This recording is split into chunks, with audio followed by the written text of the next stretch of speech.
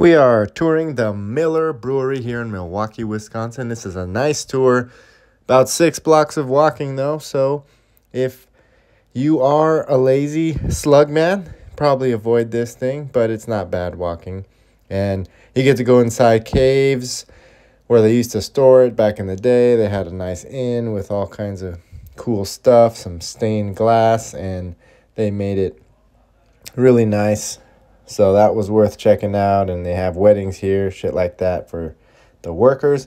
And then you get to go inside where they produce over 650,000 cases per day. They have 150, 200 trucks per day coming in there. And this giant warehouse can hold 900,000 cases. 40% of this goes to Chicago. It's out of hand. They make 64 brands here.